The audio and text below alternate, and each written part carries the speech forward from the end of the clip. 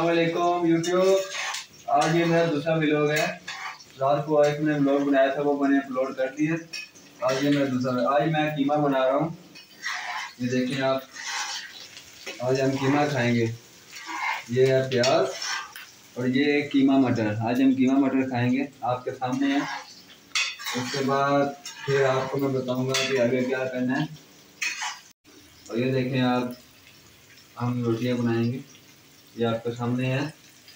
ये आटा, इसको ऐसे किया। कीमे के साथ हम रोटी खाएँगे। कीमा मटर के साथ हम रोटी खाएँगे।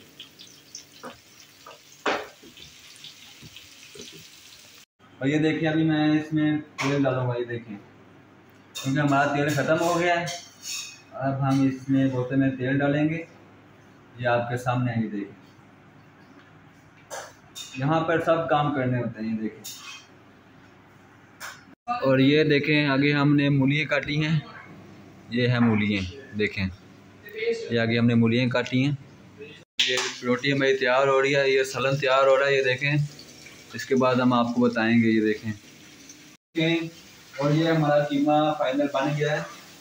इतनी गर्मी और प्रदेश में देखें, हमारा कीमा बन गया आज कीमा मटर, ये देखें। ये आपके सामने मटर है। अब इसको मैं एक दो दफ़ा, तीन दफ़ा ऐसा करूँगा, उसके बाद फिर हम खाएँगे और मज़ा लेंगे। ये देखिए आपके सामने। और ये देखें, हमारा कीमा तैयार हो गया है और हम रोटी के साथ प्याज भी खाते हैं, ये देखें हर रोज़। दोपहर को प्याज खाना अच्छा होता है, ये कीमा मटर और इसमें हमने मक्खन डाला है। ये देखें, मक्खन आपको नज़र आ रहा होगा, ये देखें।